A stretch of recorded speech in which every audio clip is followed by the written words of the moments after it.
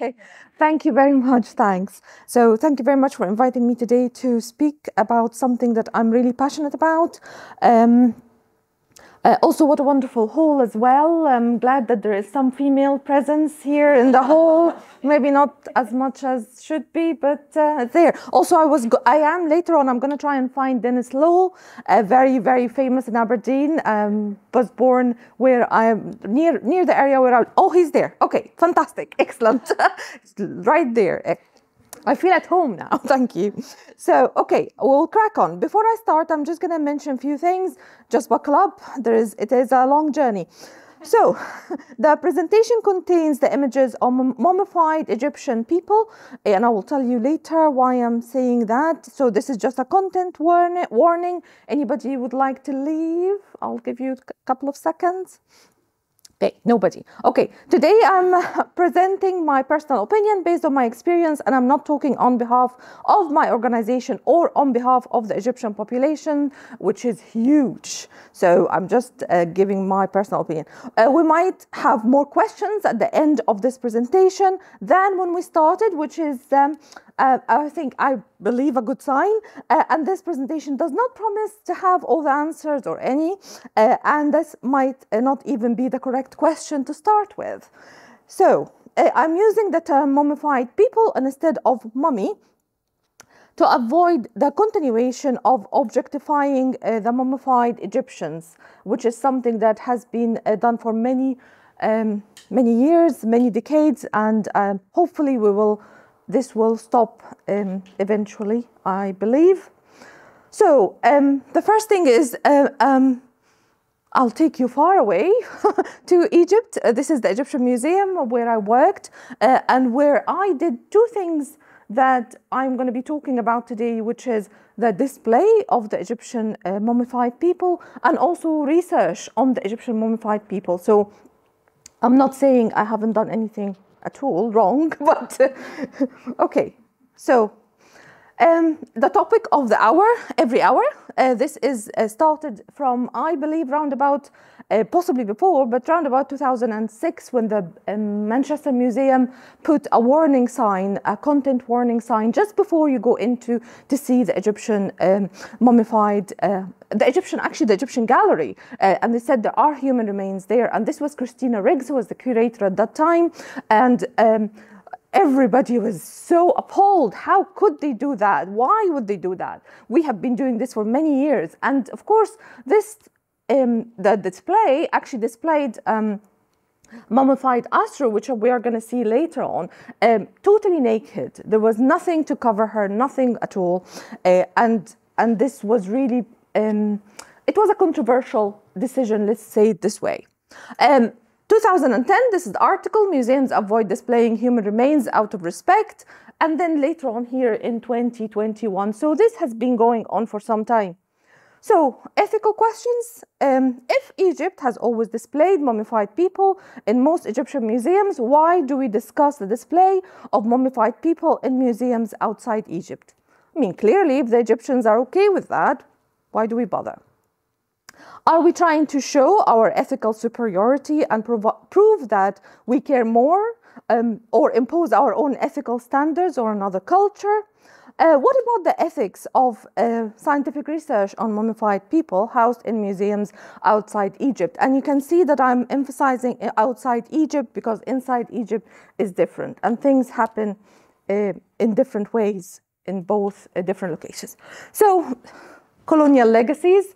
Uh, you probably were wondering when this is going to come in. So it is here, colonial legacies. Uh, Museum, first museum uh, to be opened in Egypt, uh, in Cairo, and um, again opened the history of Egyptology is totally based on um, colonialism. And um, every time we look at it, we, we discover that there were no Egyptians involved. There were no Egypt. There was also the, the separation of modern Egyptians to ancient Egyptians and um, disruption within the continuity. Everybody said, oh no, the modern Egyptians, they were called them Arabs, they are not the ancient Egyptians. And, and of course, this uh, has been proven to be wrong.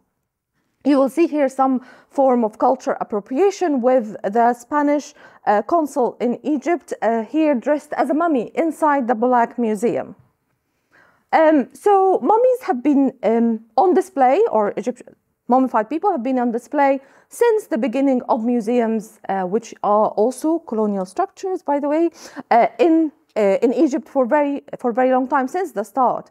Uh, this is the Giza Museum. So this is um, another museum that um, Bulak was was flooded every now and then. So they decided to move everything to Giza until they built a, a museum just for the purpose of actually to be um, a museum where objects are on display.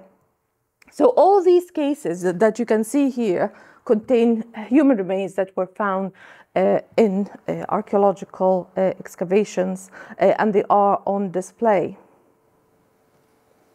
Um, Egyptian Museum in Cairo, where the, the pink building I showed you at the beginning, and then again when everything moved there, uh, human remains were on display.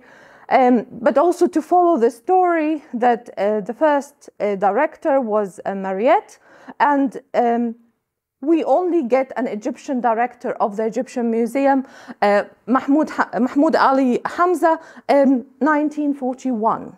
So all this time it was um, Egyptologists from all over the world that they were the directors of the Egyptian Museum and Egyptians did not have any say on what the museum contained or how to display things and nothing of the sort. So museums continued, or the museum in Egypt, uh, actually all over, continued to display human remains. And then at, that, at some point in 1980, a military operation called Eagle Claw to rescue 52 American uh, hostages held in Tehran ends, eight, um, ends with eight US servicemen dead uh, and no hostages rescued. So we're going to go further away to Tehran just to tell you how uh, museums and politics are very hand in hand. So uh, Egypt hosted the former Shah, actually he died in Egypt as well, uh, and um, his grave is there. And Iran paraded the bodies of the dead American soldiers. Uh, Egypt, uh, at that time, Sadat, which you can see him here, this is Mubarak, uh, and this is Jihan, his wife, and this is Naguib Mahfouz. If you ever read any of his books, I would certainly recommend them. So Iran, back to Iran, Egypt, sorry, back to Egypt. Egypt's uh, Sadat said, criticized Iran's action, mentioning how unethical, un-Islamic uh, it is to show the bodies of dead people. Iran replied, ooh, by the way, dead people are on display in the Egyptian Museum, and this was a bit embarrassing. So Sadat ordered the mummified kings and queens uh, to be taken off display. So this is the story of taking them off display, uh, possibly for the first time in many, many years. And you can see here that the communications regarding this was different in Egypt and different outside Egypt. So in Egypt, it was faith. This is not non-Islamic. We're not going to do that. Outside Egypt was about dignity, and you will see this creeping up again and again. So Egypt's uh, royal pharaonic mummies. This was uh, in 1980s, um, and in the, in the Times and says here the, uh, the display will be back on display with dignity. And you can see here that even Sadat's decision wasn't actually a written decision. It was just, I'm assuming, a phone call. Uh, because there is no written document to say um, it's not it's not a presidential order as we can uh, say and this was um, what yeah the decision to open the mummified again to the public required delicate political maneuver so how political is that so um, this is where I joined the team. This is the first and the second Royal Mummy Galleries in the Egyptian Museum in Cairo. I'm not sure how different that looks like from the non-dignified way that they were uh, presented um, previously, uh, but this is how it was, uh, it is presented until they were moved to a different uh, museum. Um, January 2021, Al Azhar, who is the um, the head of the or or the the authority in Islamic uh, fatwas, which is Islamic decisions um, in in Egypt, and they say here the the sheikh said um, that it is it should we shouldn't be extracting the bodies of the ancient pharaohs and putting them on display in return for dollars from visitors uh, is forbidden, which also include um, excavation as well. But this has been fantastically wonderful for, in, for Egyptians, for modern Egyptians. The, the, the, the parade transporting the remains of the pharaohs, as the BBC mentioned it here, and this is an iconic image that will live with the Egyptians for many, many years. Uh, it was um, it was um, a strong feeling of nationalism, strong feeling of this culture belong to us and we own it. Um, and you can see the mummies were moved from uh, the Egyptian Museum in Cairo. Uh, every time I say mummies, I'm gonna kill myself.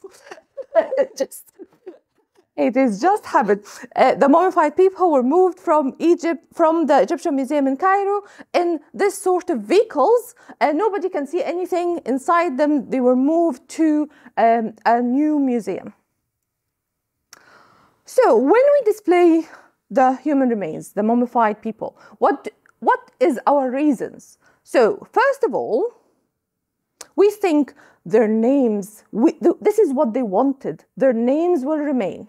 And the other reason is education. We want education. So keep these in your mind, and then we're going to go back to that. So this is Tahiru, and this was during an exhibition in Aberdeen. And you can see this actually exhibition is online. So you can go and if you check um, Aberdeen University Museums and Special Collections website, you'll be able to see all parts of this exhibition. Uh, and you can see that there's a particular section just for her name. Tahiru lived in Egypt. And um, it is so important to mention her name because this helps her. So I wondered, what is this? How did this come about? What is, how did this idea started? And then I found that Budge, who was um, curator of the British Museum for many years, and you can see the dates here at the bottom, um, he mentioned, let alone, let's not mention that, so talking about the modern Egyptians and how they were stealing everything, and um, it's working for the British Museum. uh, the bridge, the, the, he mentioned here how important the name is. And I was so excited because the idea of the name the, actually started uh, by me, a mention of Budge in 1920 in, his, in this publication, as you can see there. We have done that all the time. It is the name, the name, we're keeping the name. In, even in the Cairo, um, in the Egyptian Museum in Cairo, when we put the mummies, uh, the, the, mummified people on display, we also mentioned that we really wanted their name to remain. Uh, the same thing happened in, uh, in Aberdeen as well. Uh, this is just to show you that mummies, uh, mummified people can also be uh, associated with so many different things, including climate change. They were targeted there in Spain. And so if we don't display mummified remains, what do we do with them? Shall we ask for them to be returned back, so repatriation? Um, I'm giving you some uh, one example here of um, University uh, College Cork, and they repatriated uh, mummified human remains uh, to back to Egypt. And they had these negotiations with the state. So remember, there are states and there are communities. There are state, the Egyptian state, and there is the Egyptian population, the Egyptian community. And Mustafa here, who's Mustafa Waziri, he's the uh, Secretary General of Egypt's uh, Supreme Council of Antiquities, said during this negotiation, he just looked at us and said, we have too many mummies already. We don't need yours. And this is published. I can give you this uh, link later on. Okay, so just keep this in mind. The other thing here, you can see that there is the at that part of the repatriation of that uh, uh, project, they also repatriated canopic jars, and the canopic jars also contain human remains. So just keep this in mind because it's not just the the full bodies, but also you will have all these different. Um, human remains. So talking about community, so what actually the community wants? So looking and, and doing some research, did the Egyptians say that they wanted the human remains back? That they wanted the mummified people back? You can see Bassam al-Shama, and he's, um, he's actually a tour guide. Um, and there is something called the proposal of mummy return. So actually some of the population want uh, the human remains to return back. In a recent visit to Manchester, where I believe that everything started, sort of, in the UK, uh, Asru is now on display. You can see her here. And um, there is this sort of clarification of why we put um, why why she's displayed this way, and also mentioned that CT scanning has not been um, on display for, for people to see, for visitors to see, because they think that um, uh, we have undone ancient rites and seen her in ways that were never intended. So this is also, thank you, this is also important. Um, Manchester Museum, this is the Golden Exhibition, the Golden Mummy Exhibition. So you will see two different things. One thing, we are very ethical, and the other thing, we are going to do an international exhibition and all the income will just come to the museum, but there is no consideration of sponsoring, for example, Egyptian curators or, or um, having any collaboration with Egypt whatsoever. So Manchester uh, Museum, the Golden Mummy exhibition, not co-curated and 0% input from the Egyptian community in Manchester. You can go uh, and see it, it's on now. And uh, the mummy, uh, this is the mummy wasn't worth keeping. This is actually Petrie this is a quote from Flinders Petrie, the so-called father of Egyptology or archaeology. Uh, and he said that the mummy wasn't worth keeping, uh, but of course I kept the head for comparison. Um, just so you know what were the ideas at that time. Uh, scientific research, I'm just going to talk quickly about scientific research. So many different projects uh, regarding scientific research. Scanning, we mentioned scanning before, CT scanning. Do we, I, I, maybe we should do it just because I do like the idea of having a record for conservation, uh, but maybe not for display.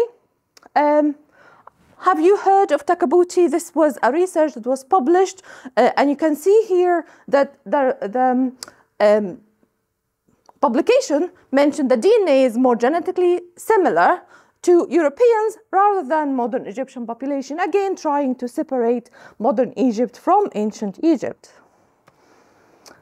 And when you go and get um, any uh, sort of um, reply or any comments, you go to different scholars, but never Egyptian voices.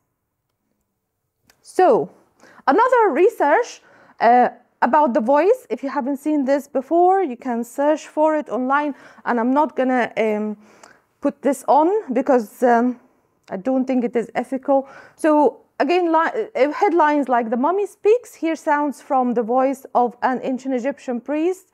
And I heard that, the first time I heard about this research was on Radio 1, BBC Radio 1. So you'll see how uh, this become very, very unethical. Um, and of course, the Museum Association, I think almost immediately after that research was, was published, uh, the, the Museum Associ Association came up with new research into Egyptian mummies lead to calls for major uh, ethical review because we can't really continue doing this.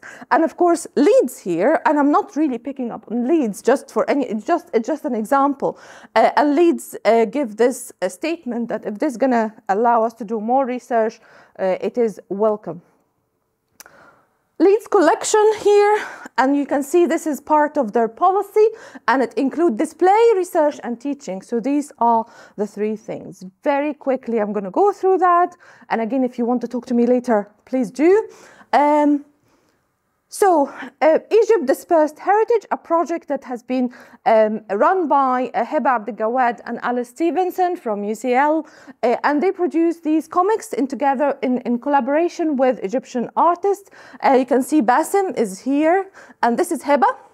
Uh, and you can see all the connection, all the uh, discussion between the two scientists, and then um, no voice for the Egyptians in the scene. I put the translation there. I will have to ignore these and I will end up, but I'm happy to share them with you, okay?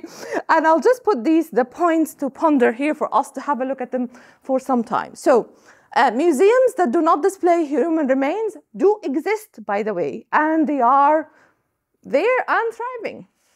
Uh, so uh, this is this is a quote uh, from uh, Jack Lohman, who is the CEO of the Royal British Columbia Museum in Victoria, um, and the other point is important for education. What about teaching the Victorians without displaying the Queen Victoria herself? Do we do that every day? Yes, we do. We do a lot of Victorians.